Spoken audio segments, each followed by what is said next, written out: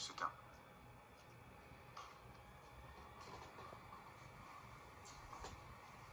Ellis Boyd Redding. Your files say you've served 40 years of a life sentence. You feel you've been? Rehabilitated?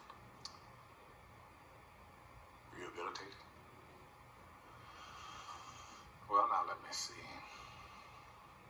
You know, I don't have any idea what that means.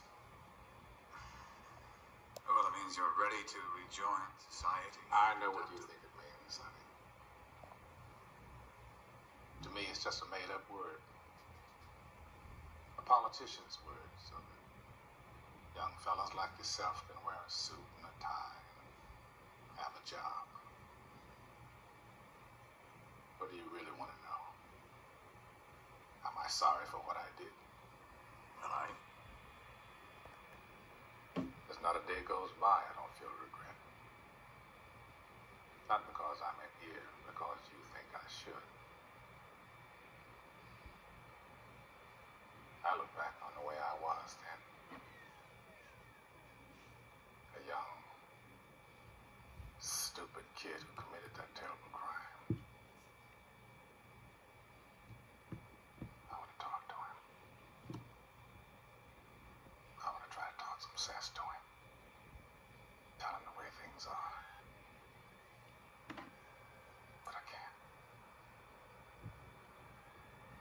kid's long gone.